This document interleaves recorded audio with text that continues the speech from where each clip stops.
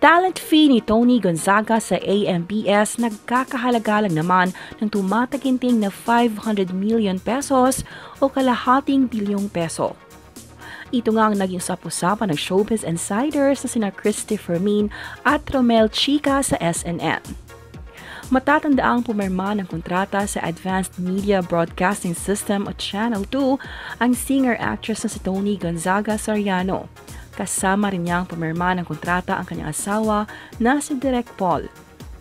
Mainit naman silang tinanggap ng mga executive heads ng bagong network na sina Manuel Paulo Villar ng Prime Asset Ventures at AMBS President Maribeth Tolentino.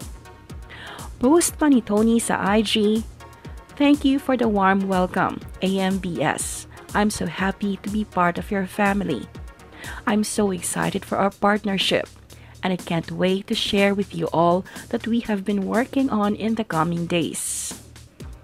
At tila ang unang pasabog nga ni Tony sa bagong network ay ang panayam niya kay President Bongbong Marcos.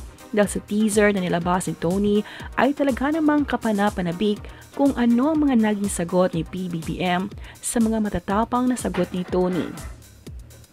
Kasunod naman ang opisyal na pagporma ni Tony Gonzaga sa OTV ng AMPS ay ang usap-usapan ng talent fee ni Tony.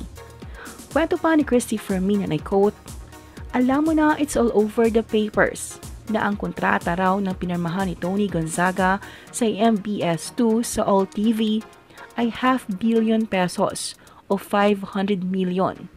Pang ilang programa kaya to? Alam ko dalawa. Baka madagdagan. Magaling si Tony humawak ng bashers. Hindi siya kumikibo. Hindi siya pumapatol. Hindi siya yung kung ano-ano ang itinukuda kaya kita mo na mamatay ng kusa. Kuda kayo ng kuda, hindi kayo pinapatulan eh. Di para kayo nakikipagsuntukan sa hindi nyo nakikita. Parang multo lang ang kalaban nyo, ganun lang.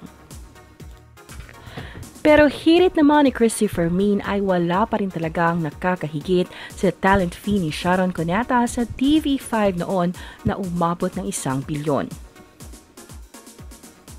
Maraming netizens naman ang hindi makapaniwala na umaabot pala sa ganong halaga ang kontratahan sa showbiz, lalo na sa mga sikat na artista.